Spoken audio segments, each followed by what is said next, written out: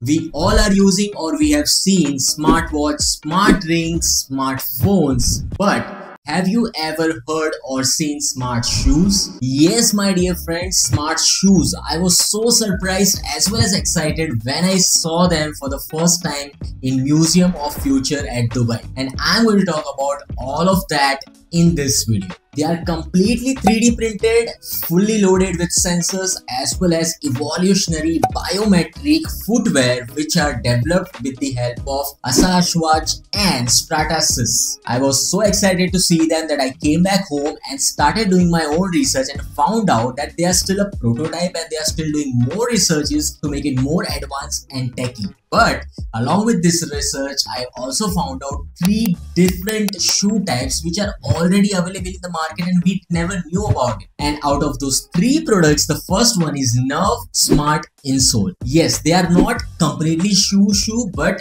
they have developed a smart insole which you can fit in any footwear and you can measure the foot pressure as well as your stride length, step length, what speed you are running, how you are running, whether pronation is properly happening in the foot or it is over pronated foot, everything with the help of an app attached to it. Anyways, this uh, product was not so successful because of their back data logging problem. The second product which I found on the internet which is also made in India is FitMe Smart Insole. This product also helps us for sports performance as well as research activity by giving us real-time data of gait, biomechanics as well as foot pressure. And the third useful product which I found while searching all these things was Orpyx SI Smart Insole.